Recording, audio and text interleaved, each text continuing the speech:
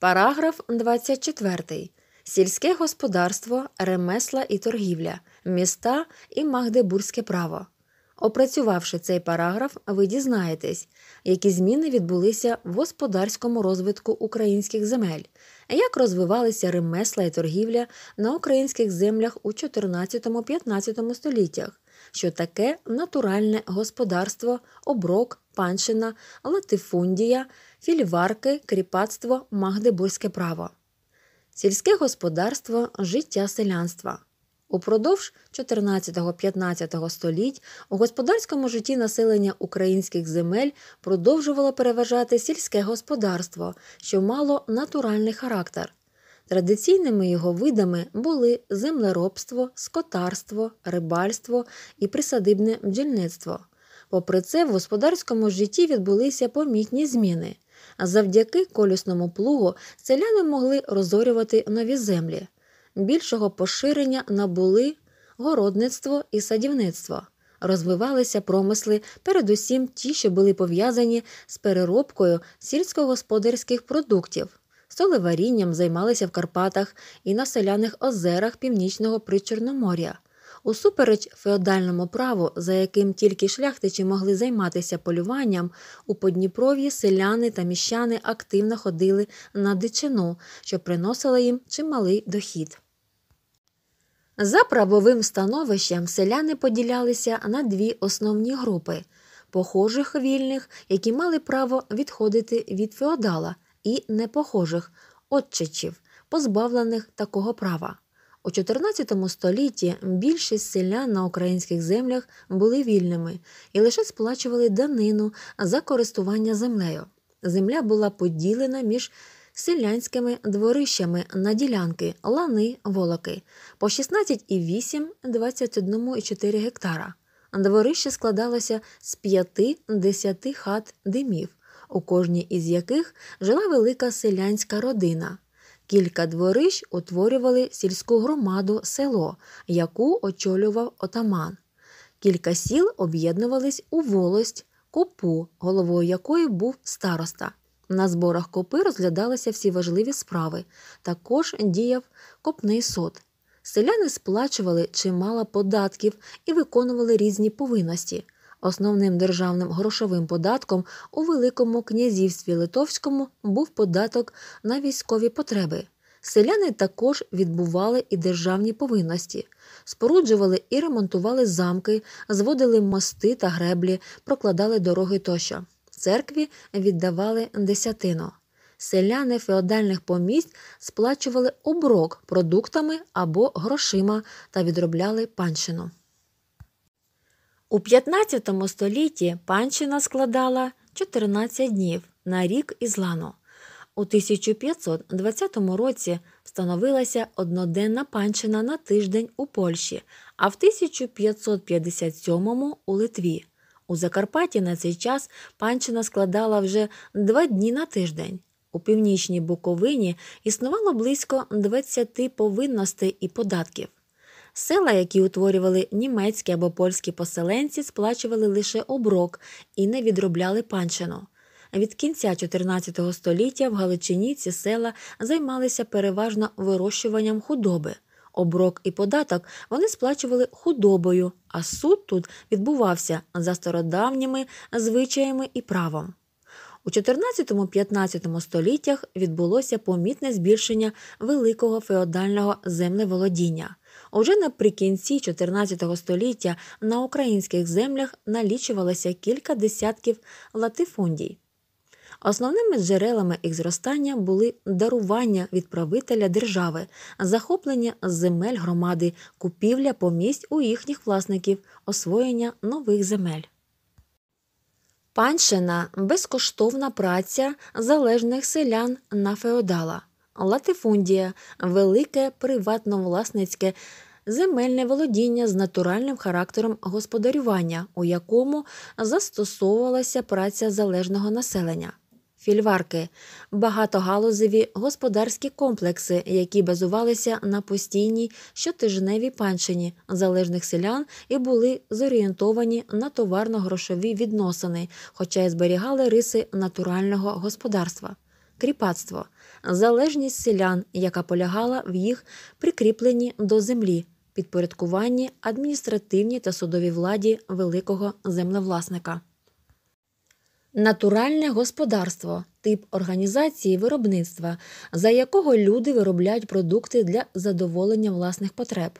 Оброк, частка продуктів, зерно, худоба, птиця, сало, мед, яку залежні селяни сплачували феодалу. У зв'язку зі зростанням попиту на продукти харчування, особливо на зерно і м'ясо, у Західній Європі великі землевласники, реагуючи на потреби ринку, перетворювали свої господарства на фільварки. Найбільшого поширення фільваркові господарства набули в Галичині, Західній Волині, Західному Поділлі, Київському Поліссі. Нарешті українських земель вони поширилися лише із середини XVI століття. Для існування фільварків було потрібно багато землі, тому землевласники почали відбирати її в селян, водночас збільшуючи панчину та запроваджуючи кріпацтво. Із 15 століття селян почали переводити під судочинство феодалів.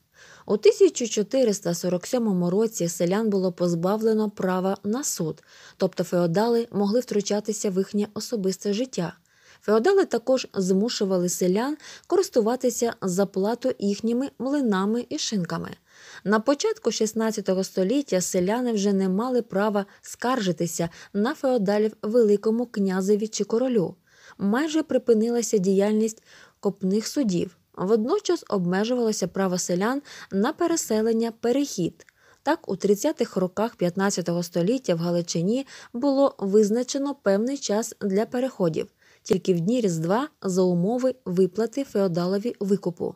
Сейм 1496 року постановив протягом року залишити село мав право тільки один селянин. Сейм 1503 року видав ухвалу, за якою селяни не могли переселятися без дозволу феодала, що означало втрату ними особистої свободи. На українських землях у складі Великого князівства Литовського процес закріпачення відбувався дещо повільніше. Це було зумовлено набігами татар і нестачею робочих рук.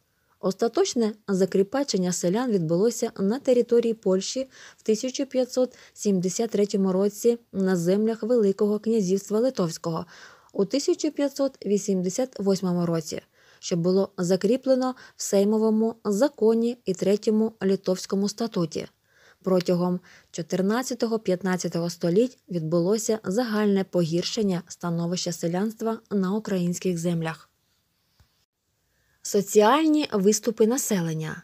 Злам традиційного життя селянина, загальне погіршення становища населення спричиняли невдоволення, а іноді і відкритий опір.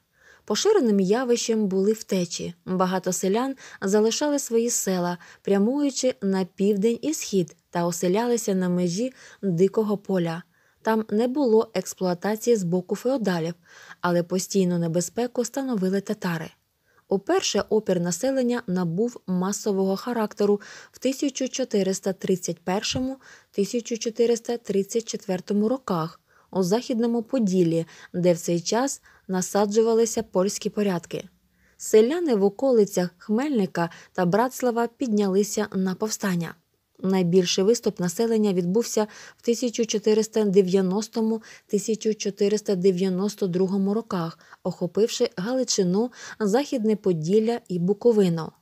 Улітку 1490 року 10 тисяч селян, міщан і дрібних шляхтичів під керівництвом отамана Мухи, ім'я Ватажка нам невідоме, захопили міста Сняток, Коломию, Галич і навколишні села. Масштаби заколоту занепокоїли владу, і проти повстанців вирушило велике військо. Вирішальна битва відбулася під Рогатином. У ній повстанці зазнали поразки. Муха врятувався втечею, але невдовзі був схоплений і вивезений до в'язниці в Кракові, де й помер.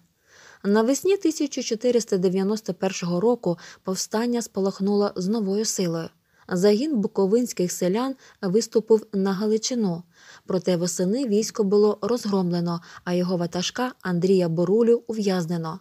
Улітку 1492 році він опинився на волі і знову очолив боротьбу, але був схоплений біля Коломиї та страчений у Хотині разом зі своїми полоненими товаришами.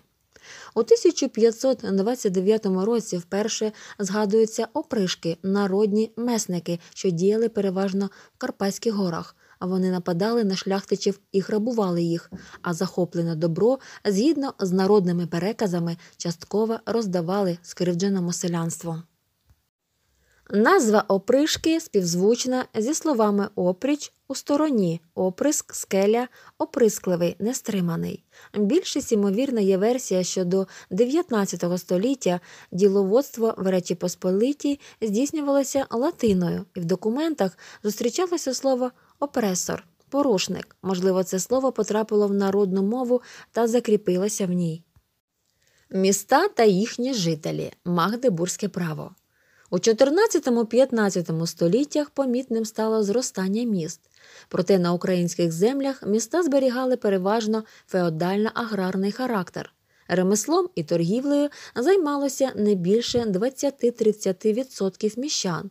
Решта перебувала в залежності від магнатів і, подібно до селян, відбувала повинності, сплачувала оброк натурою інколи грошима.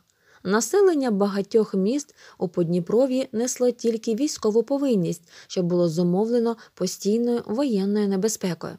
Найбільшим містом у 15 столітті був Львів із населенням понад 10 тисяч осіб, тоді як Київ налічував до трьох тисяч жителів.